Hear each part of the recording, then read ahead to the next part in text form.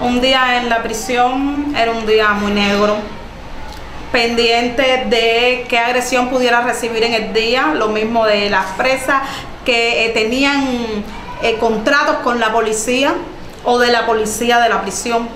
De las presas comunes sí tuve mucho apoyo, las presas comunes me apoyaban y me cuidaban muchísimo.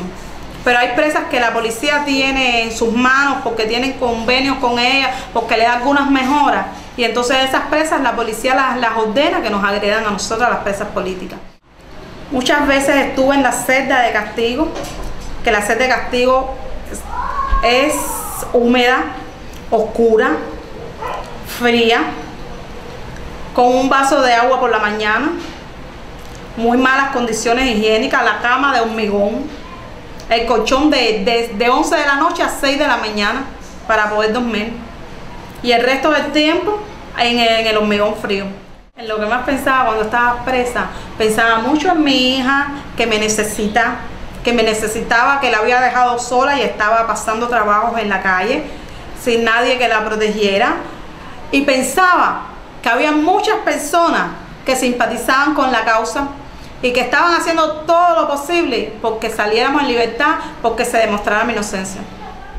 Precisamente el año pasado en Praga hicieron una marcha en el Día para Cuba pidiendo mi libertad con carteles que pedían mi libertad. Y en muchos lugares del mundo la Organización Internacional de Derechos Humanos de Alemania, Amnistía Internacional hicieron muchas campañas, las redes, las redes sociales hicieron muchas campañas allí pidiendo mi libertad, sí, mucha gente en todo el mundo.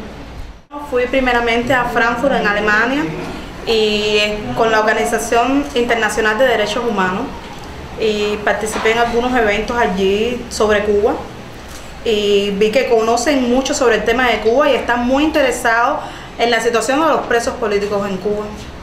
Mi impresión al ver esos países que viven en democracia, que tienen libertad, que se respetan todos los derechos humanos allí, me sentí muy bien, me sentí halagada con ellos de que ya tienen la libertad y se preocupan porque nosotros también tengamos libertad en Cuba. Bueno, a mi regreso a Cuba, cuando pasé por la aduana de Cuba, yo no tuve ningún problema, pasé con todo, pero después mi hija, que pasó más atrás, mi hija, la maleta de, viaje, no estaba la maleta de viaje, dicen que, que se quedó en uno de los puertos que eso no es problema de ellos, que ellos hacen la reclamación, pero que eso no es problema de ellos. Y la, el equipaje de mano de mi hija que traía, que puso allí para poder eh, saber qué era lo que ocurría, desapareció. El equipaje de mi hija se perdió allí.